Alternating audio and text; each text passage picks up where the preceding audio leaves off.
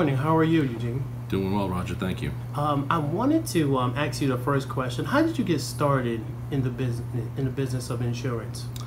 Uh, well, it's interesting. New York Life has, has been the only company that I've worked for in this industry. Um, my background had nothing to do with uh, insurance or financial services or sales, to, for you know, for that matter. Uh, grew up here in the Bronx and uh, went to uh, high school here and got recruited to college to play football. And I actually went to the uh, Merchant Marine Academy out in Long Island.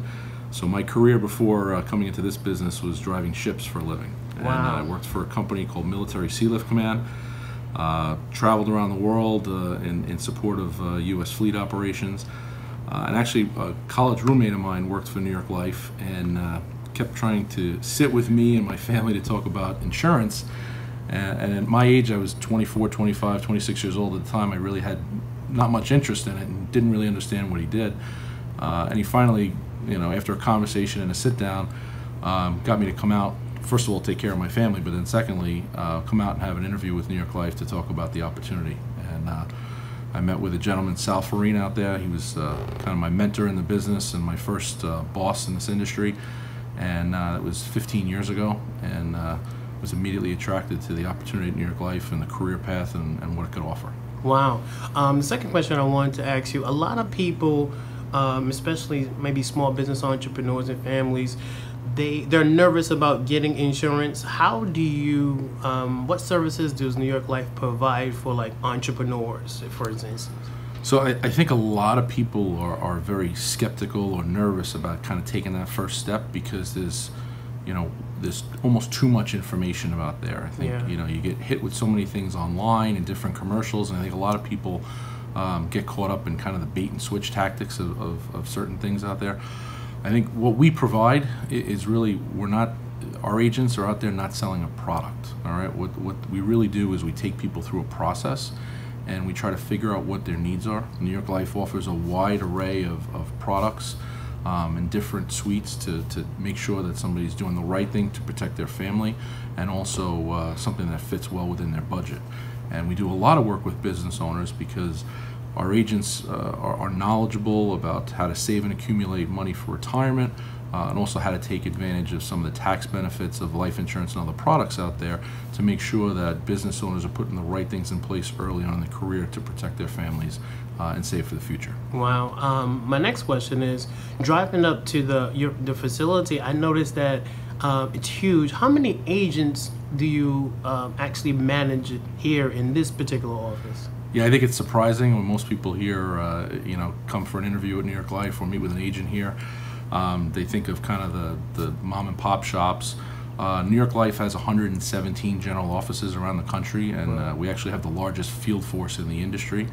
Um, in this office in, in Westchester, uh, we have 170 uh, full-time career agents currently uh, uh, on our staff. We house about 140 of them here in the general office, and then we have some agents in some detached locations.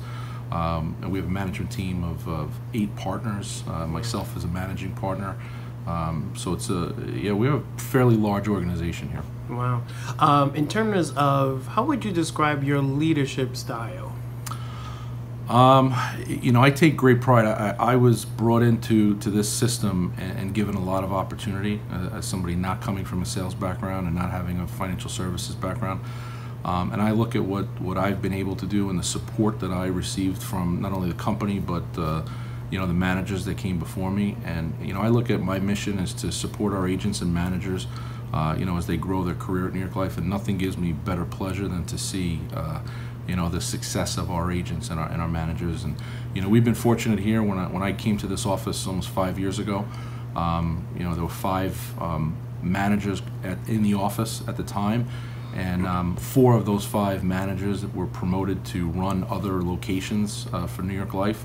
Um, and the fifth gentleman, Brian Siegel, is actually being promoted to senior partner here in our organization today. So we're very excited about uh, about what's going on in, in our organization and, and, and across New York Life, and and obviously being able to see our agents go out there and help people in the community uh, and build a successful career doing it. So Wow. that's what I take great pride in.